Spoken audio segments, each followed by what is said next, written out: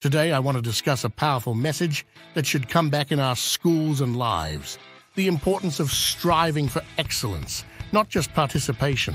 It's about setting the bar high, not just for the sake of competition, but fostering resilience, determination, and a relentless pursuit of our best.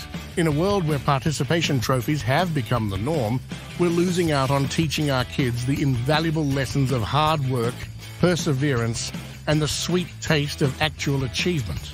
It's not just about winning, it's about pushing ourselves beyond our limits, learning from our failures, and coming back stronger. Imagine a generation of kids who grow up understanding that absolute satisfaction comes from overcoming challenges, who see every obstacle as an opportunity to grow, and who are not afraid to fail because they know that it's part of the journey towards success.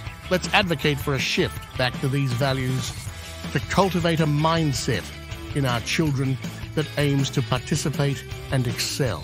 This is about preparing them not just for the classroom or sports field, but also for life. Together, we can inspire resilience, foster a culture of excellence, and prepare our children to face the world with confidence and ambition.